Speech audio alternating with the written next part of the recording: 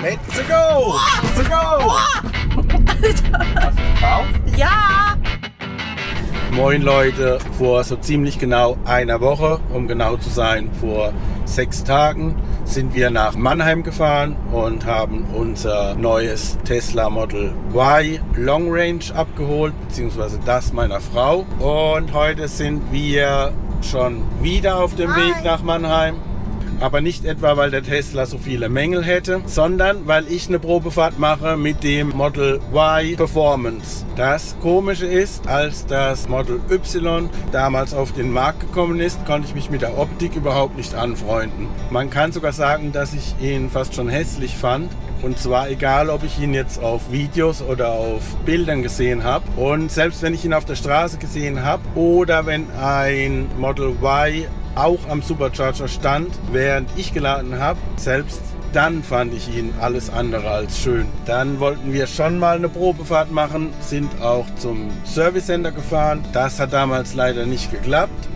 Aber wir haben uns äh, dort vor Ort umgesehen, standen ja ein paar Stück draußen und irgendwie fand ich ihn da schon gar nicht mehr so übel. Und wie gesagt, fast vor einer Woche haben wir dann das Model Y für meine Frau abgeholt.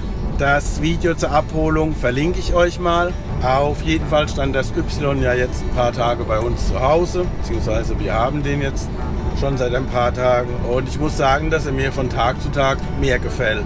Und freust du dich auf die Probefahrt? Ich freue mich auf die Probefahrt. Es sind jetzt noch 18 Minuten, bis wir da sind. Und um ehrlich zu sein, bin ich mehr aufgeregt als nein, eigentlich beides. Ich freue mich und ich bin aufgeregt. Auf jeden Fall, ich habe ja das Model 3 Performance. Jetzt überlegen wir oder ich, dieses Fahrzeug eventuell zu verkaufen oder bei Tesla wieder in Zahlung zu geben und mir ein Model Y in der Performance-Variante zu bestellen. Allerdings habe ich auch noch ein paar Bedenken oder vor allem ein Hauptbedenken. Und zwar habe ich Angst, dass mir einfach der Punch, den ich im Moment habe mit dem Model 3 Performance, der ja von 0 auf 100 in 3,3, 3,4 Sekunden schafft, zumindest auf dem Papier, dass mich der Y in der Hinsicht vielleicht auf Dauer nicht glücklich machen könnte. Aber beurteilen kann ich das halt erst, wenn ich selbst mal gefahren habe. Und deswegen geht's jetzt nach Mannheim.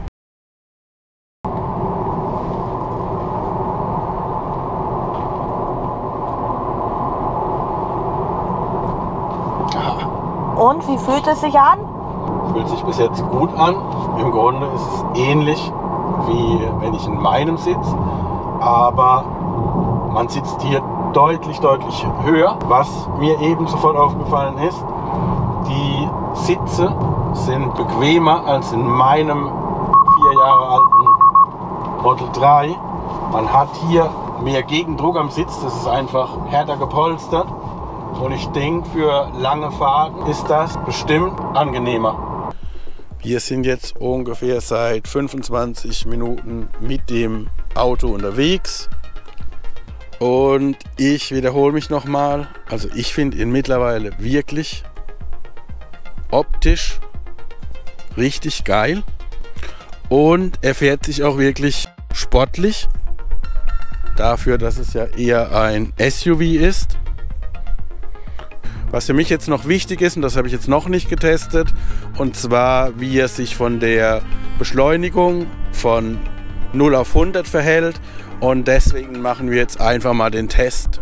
So, ich habe hier jetzt eine Stelle gefunden. Wir machen jetzt mal den ultimativen Beschleunigungstest. Und von dem Test mache ich abhängig, ob ich eben auf dieses Fahrzeug umsteige oder eben nicht. Und los geht's!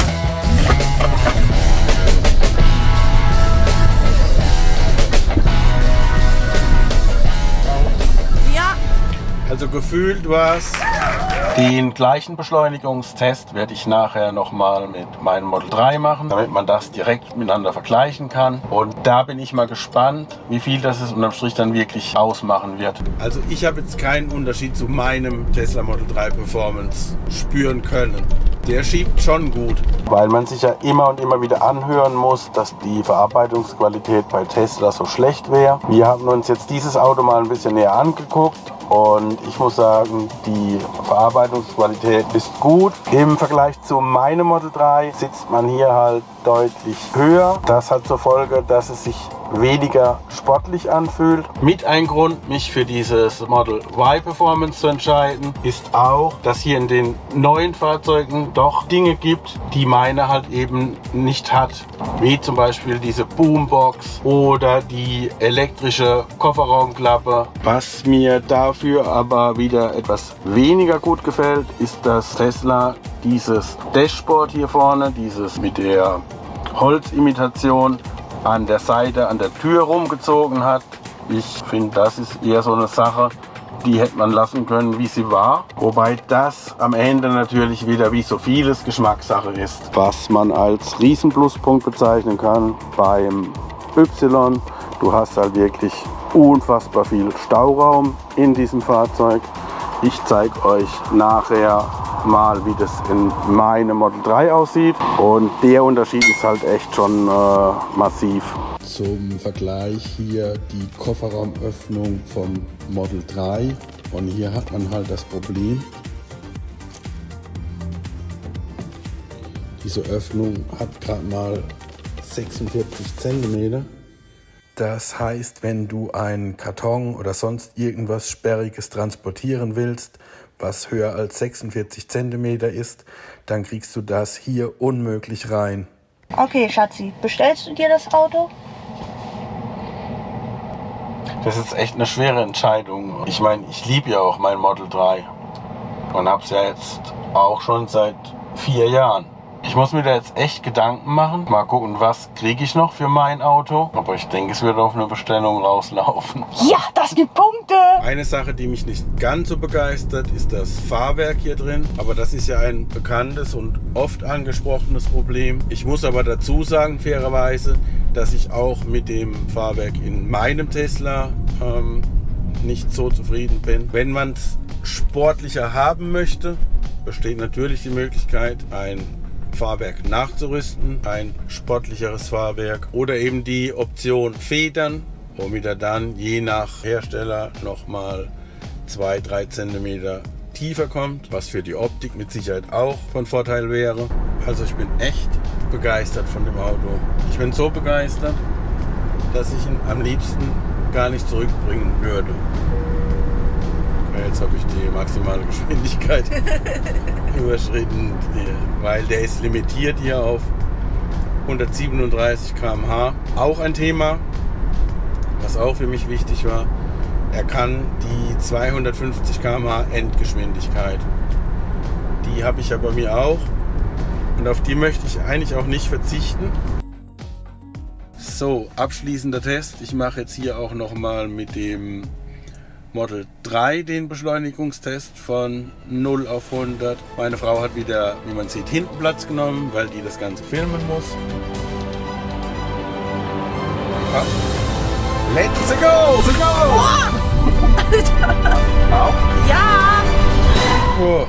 Ich komme mal zum Fazit.